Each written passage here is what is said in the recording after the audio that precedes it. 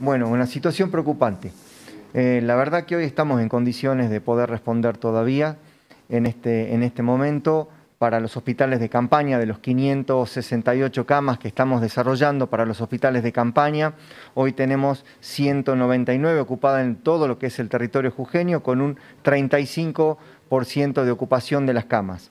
De las camas críticas, vamos aumentando de a poco la necesidad de las camas críticas en distintos lugares, tanto en el Hospital San Roque, en el Pablo Soria, en el Hospital Materno Infantil y también en, en el Hospital Oscar Orías, que tenemos 110 ocupadas camas críticas de las cuales tenemos casi un 64% de ocupación. Hemos aumentado también por una necesidad las internaciones domiciliarias, las cuales tienen, son situaciones muy especiales analizadas y autorizadas, y también las, las intervenciones privadas. Quiero comentarles que en el mapa de distribución de la provincia, en donde vean los cuadros que son verdes, son aquellos que tienen menos del 50% de la ocupación, los las amarillos que están por arriba del 50% de ocupación y coincide con todo lo que es el área de ramal y por sobre todo los cuadros rojos que tienen más del 80% de la ocupación, en donde coinciden también con el ramal.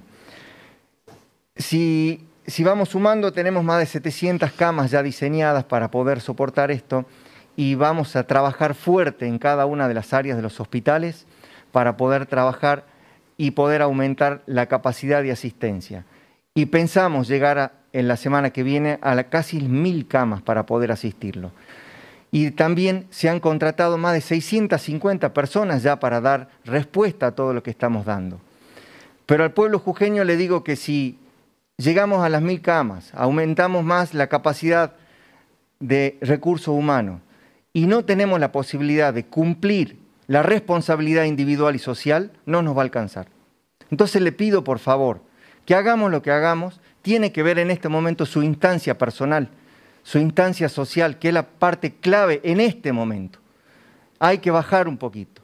Y le pido, por favor, Ledesma, el equipo de salud de Ledesma, se está partiendo la espalda para asistirlos a todos. Y es muy importante que en esa región bajemos un poquito y se queden en la casa y hagan todo lo que hace tantos meses venimos trabajando para que puedan soportar esta condición. Si no, no vamos a poder aguantar en ninguna condición. Hagamos lo que hagamos. Pero ahora nos toca a nosotros, del otro lado, de su casa, de su ámbito laboral, de su ámbito social, y por sobre todo el individual la responsabilidad. Le pido por favor a la gente del ramal que empecemos a cuidarnos el doble o el triple para no saturar el sistema y darle la oportunidad a la gente que eventualmente ya se enfermó de darle la asistencia que merece.